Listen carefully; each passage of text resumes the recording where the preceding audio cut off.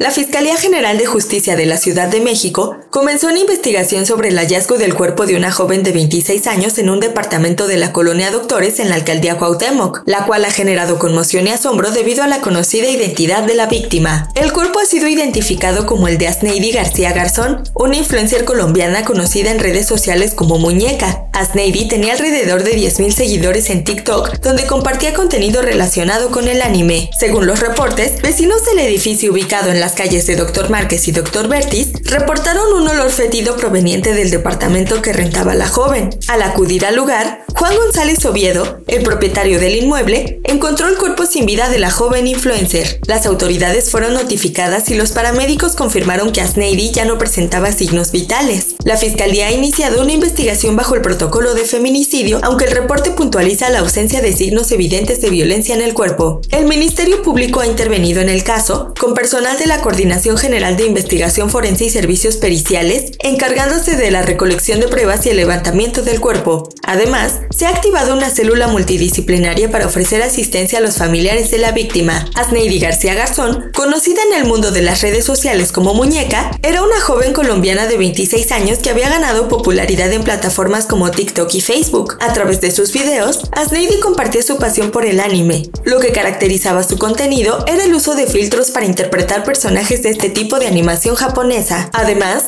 era madre de un menor que reside en Colombia. Ella había decidido viajar a México para impulsar su carrera en las redes sociales. Su trágica muerte ha dejado una profunda tristeza en sus seguidores y seres queridos. La fiscalía también ha solicitado la colaboración de la policía de investigación para entrevistar a testigos y revisar imágenes de cámaras de videovigilancia en la zona. La necropsia determinará las causas exactas de la muerte de García Garzón. Este caso llega en un contexto complicado, a tan solo días del hallazgo de dos cuerpos de jóvenes venezolanas en la alcaldía Tlalpan. La investigación está en marcha y las autoridades continúan los trabajos para esclarecer los hechos.